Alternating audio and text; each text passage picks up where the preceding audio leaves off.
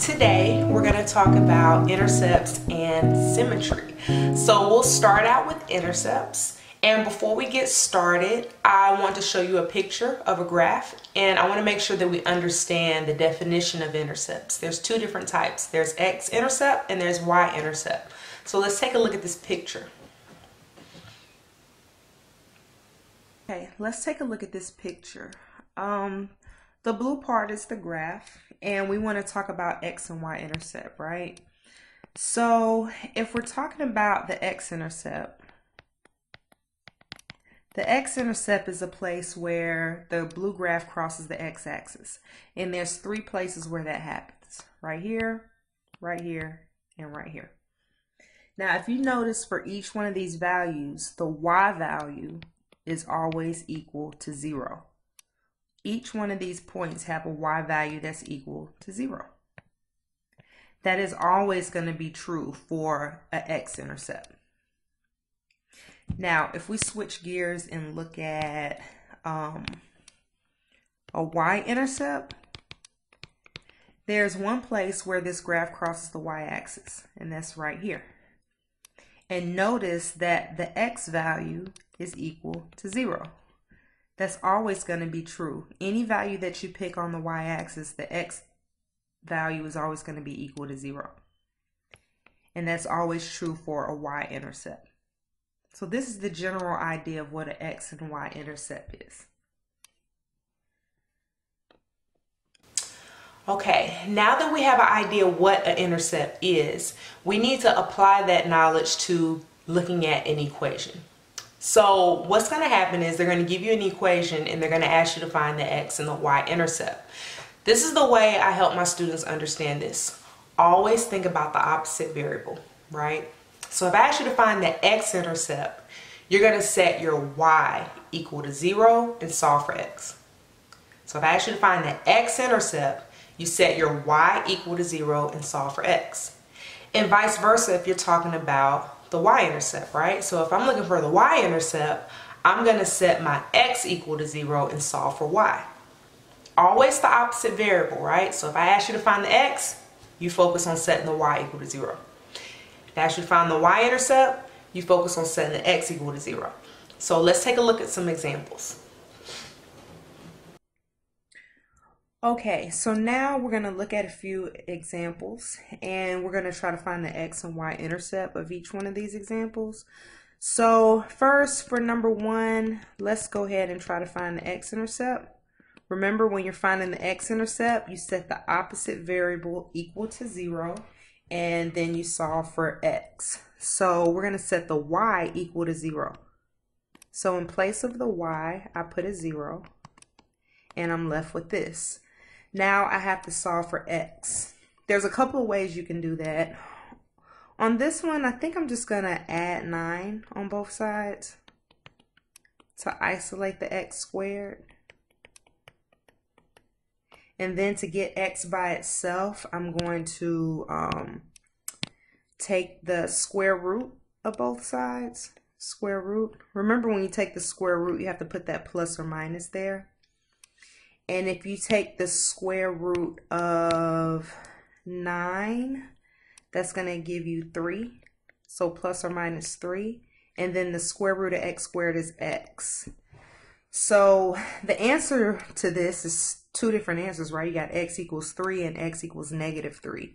So your intercepts, if you remember from the picture, intercept is a point. So if you listed this as a point, it would be 3, 0 and negative 3, 0. Your y value is always going to be zero, remember? Um, another way you could have solved this, and I just want to point this out real quick. Um, you could have, and I'll do it over here on the side, just really quick. So if you had this, and some of you may have done this. Uh, if you have this, you could have factored. If you're good at factoring, you could factor this. And because it's a difference of squares, you can say x plus 3 x minus 3, and then you remember you set each one equal to 0. You know, do whatever gets you the correct answer. Like, you got to do what works for you. So x equals 3. You get the same answer. I just wanted to show that option off to the side. Now, let's take a look at the y-intercept. So with your y-intercept, this is where you set the x equal to 0. So wherever I see x, I'm going to put 0. So y equals 0 squared minus 9. So we know 0 squared, that's just 0. Okay, right? This goes away. And you just get negative 9. So that's already solved. That was simple. So now we have y is equal to negative 9. That's one y-intercept. And again, because it's a point, we can list it like this. See?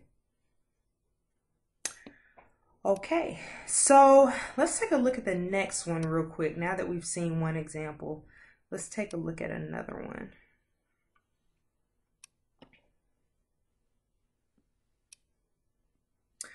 So on this one, let's find our x and y intercept. So x-intercept, you set the opposite variable equal to 0. So wherever I see y, I'm going to put a 0. 0 squared is equal to 4. So 0 squared is just 0. So that's basically going to go away. Okay.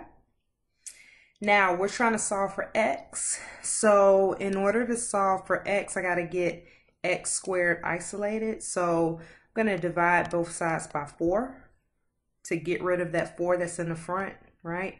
So I get x squared is equal to 4 divided by 4. 4 divided by 4 is 1. And just how we did in the previous example, we're trying to get x by itself, right? So let's take the square root of both sides, square root making sure you put the plus or minus. And then we have our answers. We have x is equal to plus or minus, the square root of 1 is still 1. So I have two answers here. This is negative 1, 0, and 1, 0. Now let's do the same thing for our y-intercept and we're going to set x equal to 0.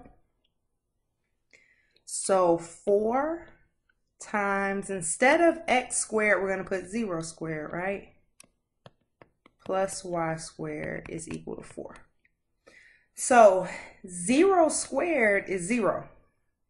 And 4 times 0 is still 0. So all of this is going to go away, right? So you have y squared is equal to 4. And we're going to do that square root thing again. Here we go. Square root here, square root here, plus or minus. Always got to do plus or minus when you take the square root of both sides. So y is equal to plus or minus the square root of 4 is 2. So we have two y-intercepts.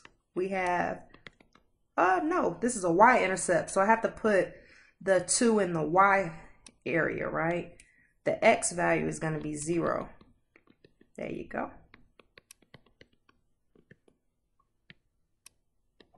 All right.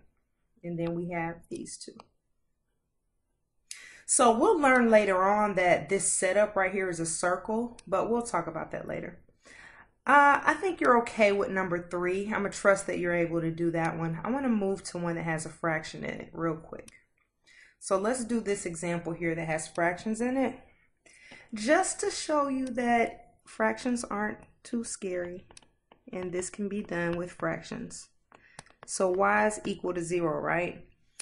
So 0 is equal to 3x minus 2 over x squared plus 9. Okay, now in order to solve for x, when you have a fraction set up like this, you have to multiply everything by the LCD we have to get rid of this fraction. We don't like it, so let's get rid of it. So what I would do is multiply the entire equation. I put the whole equation in um, brackets. I'm going to multiply, and that just tells me that I'm going to multiply both sides by the LCD. Your LCD is going to be x squared plus 9. That is your LCD. That's the only thing in your denominator. So when you multiply 0 times this LCD, 0 times anything is still 0. when you multiply the right-hand side by the LCD, the denominator basically cancels out and you're just left with the numerator. Right? Okay. So now the fraction's gone away and that has made this a little bit less scary. Now I can solve this. You add 2, add 2. So this is 2 is equal to 3x and then divide by 3, divide by 3. And so you get 2 thirds is equal to x. So our x, our x intercept is going to be 2 thirds. Y value is 0. That's your x intercept. Now let's do our y intercept. This is where we set our x equal to 0. So y is equal to 3 times 0 minus 2 over 0 squared plus 9. I just put 0 wherever I saw x. So at the top, we know 3 times 0, that's 0. So that's going to go away. At the top, I only have the negative 2. At the bottom, we have 0 squared, which is still 0, and I just have 9. So this is already solved for us. We have negative 2 over 9, and that's our answer. That can't be reduced, so that's going to be our answer negative 2 over 9.